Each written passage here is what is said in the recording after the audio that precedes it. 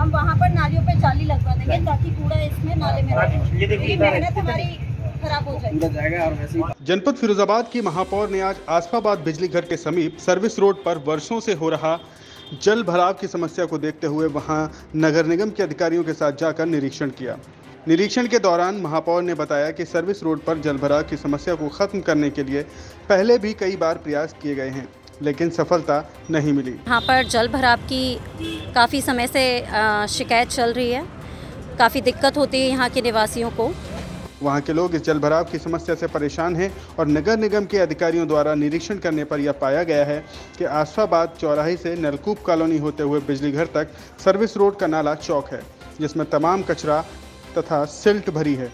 जनता की समस्या को ध्यान में रखते हुए महापौर नूतन राठौर ने चौदहवें और पंद्रहवें वित्त आयोग की बैठक में प्राथमिकता से सर्विस रोड के नाले की सफ़ाई हेतु 50 लाख की धनराशि पास कराई थी।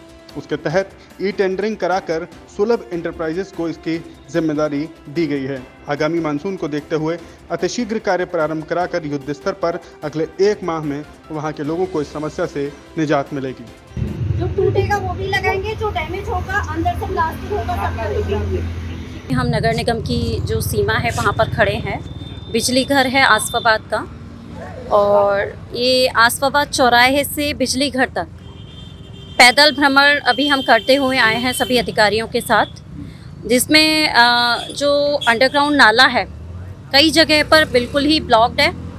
गंदगी से, कचरे से। और जो अभी हम जहाँ पर खड़े हैं बिजली घर पर यहाँ पर जल भराव की काफ़ी समय से शिकायत चल रही है।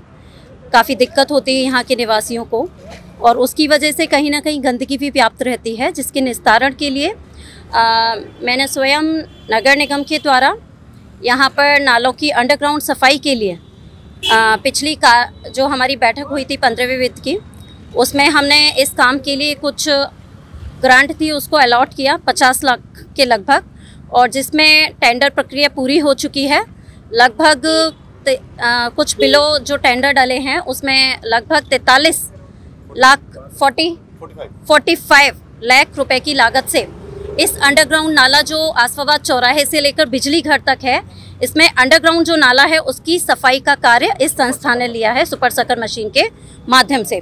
साथ ही साथ ये जो मेन होल बने हुए हैं, उनकी मरम्मत का कार्य भी इसी कॉस्ट में शामिल है।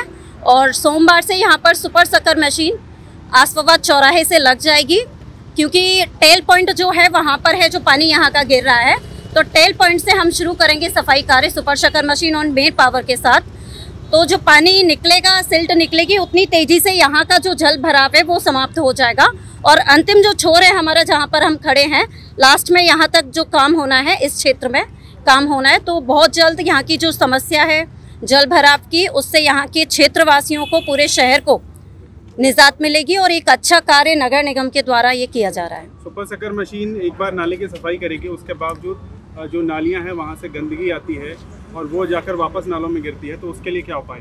आ, ये हमने अभी भ्रमण किया है जगह जगह जहाँ से भी आ, लिंक हमारी नालियाँ हैं और वो आके मेन होल में गिर रही हैं। अंडरग्राउंड नाले में।